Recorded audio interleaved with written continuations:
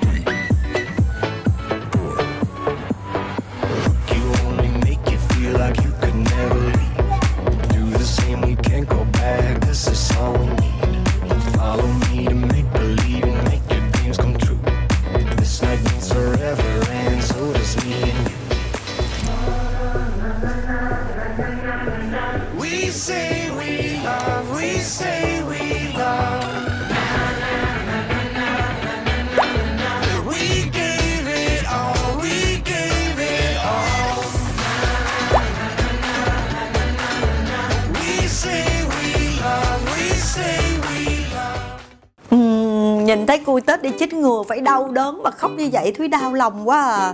Các mẹ nào mà có con nhỏ chắc cũng đồng cảnh ngộ với Thúy, đúng không? Biết sao bây giờ? Chúng ta ai cũng phải trải qua giai đoạn này cả. Và với kinh nghiệm vừa rồi của cô Tết đi chích ngừa thì Thanh Thúy rút ra được những điều sau. Thứ nhất là khi đi chích ngừa, mình sẽ mang theo một cái điện thoại để mình dụ cho em bé mất tập trung chích ngừa cho nó nhanh. Mà thứ hai là chích ngừa xong thì nín khóc cũng nhanh và tiếp nữa đó là mang theo bánh hoặc kẹo để cho con ăn. Con sẽ bớt quấy khóc. Điều thứ ba đó là khi đi chích ngừa về Thanh Thúy sẽ không tắm con trong vòng một ngày. Tại sao? Bởi vì Thanh Thúy nghĩ rằng là con đi chích ngừa về cơ thể có một cái gì đó nó không bình thường thì sẽ dễ bị bệnh hơn là so với những cái ngày khác. À, những lời khuyên vừa rồi của Thúy thì à, hy vọng các mẹ sẽ có thêm những kinh nghiệm trong việc chăm con. Nếu như thấy hay thì hãy bấm like và subscribe kênh của thanh thúy đức thịnh nha. Bây giờ thì xin chào và hẹn gặp lại các bạn vào những clip sau.